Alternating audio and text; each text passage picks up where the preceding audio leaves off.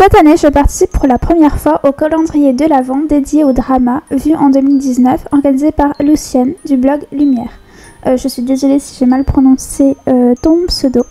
Euh, le principe est simple, chaque jour répondre à une question sur le thème des dramas, obviously, et j'étais ultra hypée par le concept, et c'est donc avec joie qu'on entame ce premier jour. Quel est mon poster favori de 2019 D'abord, cette question m'a fait réaliser que je ne prêtais pas vraiment attention aux affiches des séries, contrairement aux affiches de films.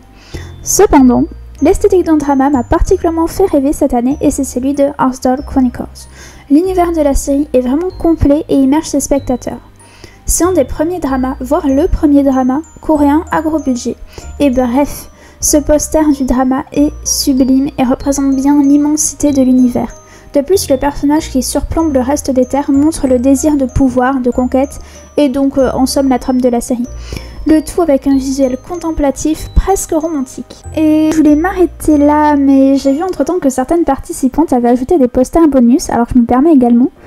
C'est des dramas que je n'ai pas vus pour le coup, mais les affiches sont vraiment trop mimes et me donnent giga envie de les voir, en plus du résumé loufoque qu'ils ont.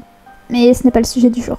J'adore le côté mystérieux et vintage de l'affiche et des personnages. Je dois absolument voir Hotel del Luna.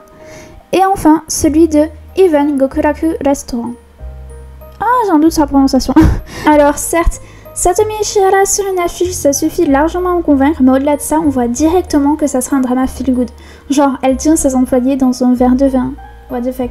Bref, gros nid de voir ce drama.